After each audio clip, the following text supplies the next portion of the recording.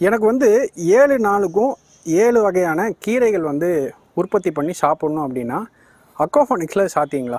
Aquaponics நான் முதல்ல சொன்ன மாதிரி வந்து ஒரு க்ரோயிங் மெத்தடுங்க ஓகேங்களா? ஸோ இதில் எல்லா வகையான காய்கறியுமே வந்து வளர்த்துக்கலாம். ஓகேவா?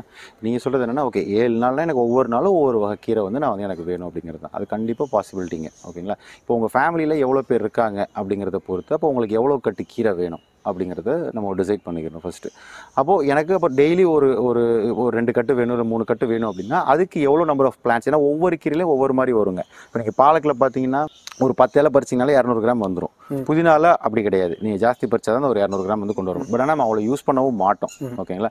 இதே மாதிரி அரைக்கீரை வெந்தயக்கீரை சிறுகீரைன்னு ஒவ்வொன்றுக்கும் வந்து ஒரு இது இருக்குங்க. ஓகேங்களா?